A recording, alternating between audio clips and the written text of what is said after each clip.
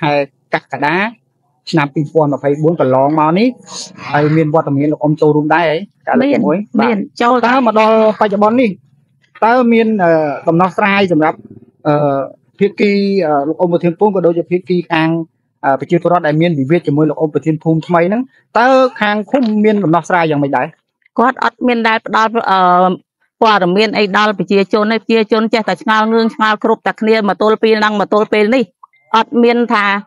ខាងណាមិនខាងណាមិនហៅសម្របសម្រួលគ្នាមិនក៏អត់ទាំងអស់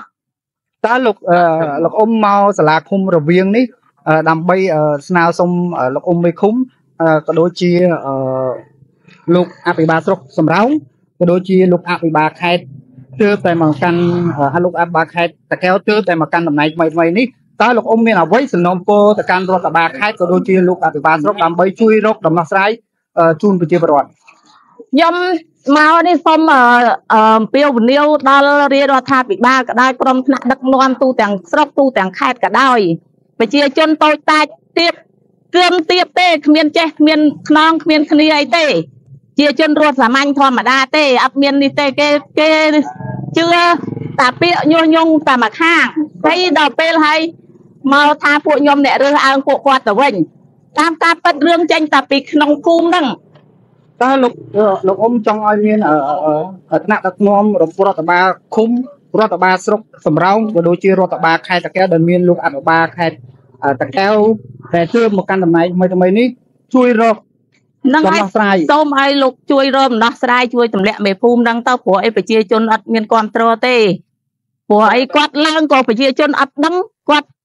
ធ្វើធំហ្នឹងក៏គាត់ប្រជាជនអត់ដឹងមិនមែនថាគាត់ជាប់មេភូមិហើយគាត់ប្រកាសប្រាប់ប្រជាពលរដ្ឋថា ឥឡូវដូរមេភូមិហើយប្រជាពលរដ្ឋទៅប្រជុំម្ដងឲ្យប្រជាជនទទួលស្គាល់ក៏អត់ដែរបងស្អីសុំមកតិចការដែលគាត់ឡើងជាមេភូមិរយៈពេលប្រហែលឆ្នាំហើយរយៈពេលជាង1ឆ្នាំហ្នឹង2ឆ្នាំជាង2ឆ្នាំជាងហ៎បាទជាង2ឆ្នាំហើយជាង2ឆ្នាំជាង2ឆ្នាំហេតុហេតុអីបានជាមេភូមិចាស់ដែលគាត់ធ្លាក់ពីតំណែងអត់ដឹងប្រជាពលរដ្ឋអត់មានដឹងថាអឺមេភូមិចាស់ហ្នឹងគាត់ធ្លាក់ដោយសារអីមេភូមិថ្មីហ្នឹងឡើងដោយសារតាណាមកពីណាក៏អត់ដឹង មិនមែនតែគាត់បានឡើងឲ្យគាត់ប្រកាសប្រជាពលរដ្ឋថាឥឡូវដូរមេភូមិសម្រាប់មេភូមិនេះមានមូលហេតុនេះមួយមូលហេតុនោះប្រជាជនអត់ដឹងទាំងអស់អញ្ចឹងឡើងដោយស្ងាត់ស្ងាត់ចាអូ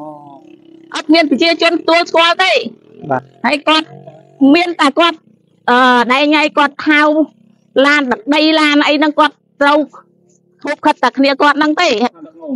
ទៅមកញាក់ពីពីហ្នឹងសូមឲ្យរាជរដ្ឋាភិបាលឡើងអ្នកដឹកនាំហ្នឹងជួយសំអឺរកយុត្តិធម៌ឲ្យប្រជាជនក្នុងភូមិខ្ញុំផងបើបើភូមិខ្ញុំរងសម្ពាធខ្លាំងផ្លូវចិត្តផ្លូវកាយរាល់ថ្ងៃដេកលក់បាត់ម្ល៉េះហើយនិយាយមែនហ្មងឈឺចាប់ណាពាក្យសម្ដីតែគេ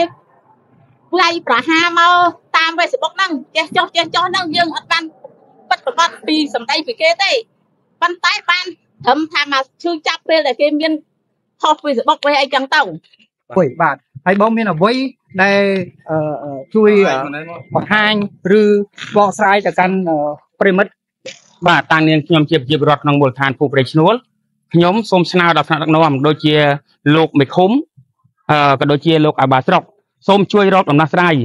ក្នុងការដាក់ញត្តិជាលើកទី1ខ្ញុំបាទនិងប្រជាពលរដ្ឋក្នុងមូលដ្ឋានមិនទាន់បានទទួលដំណឹងពីថ្នាក់ឃុំក៏ដូចជាថ្នាក់ស្រុកនៅឡើយទេឥឡូវនេះ តាំងនាងខ្ញុំជាប្រជាពលរដ្ឋខ្ញុំសូមលើក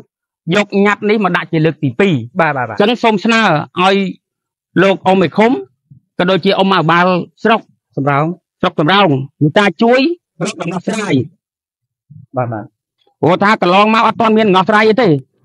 ហើយរឿងមួយវិញទៀតខ្ញុំសូមស្នើទៅលោកអ៊ំឯខុំរាល់ការដែលបងប្អូនប្រជាពលរដ្ឋក្នុងមូលដ្ឋានភូមិបីឈ្នួលគាត់តែងតែមានការរៃអង្គាសប ច្ច័យដើម្បីកសាងជួសជុលផ្លូវណា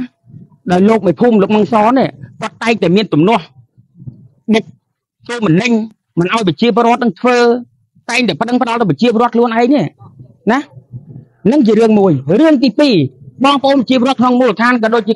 ខ្ញុំអញ្ចឹងតែងតែមើលឃើញទុកលំបាកណានៅទុកលំបាកដែលបងប្អូនប្រជាពលរដ្ឋមួយចំនួនទូចគាត់អត់គាត់ក្រៃគាត់ក្រគាត់ខ្វះនៅថវិកាអញ្ចឹង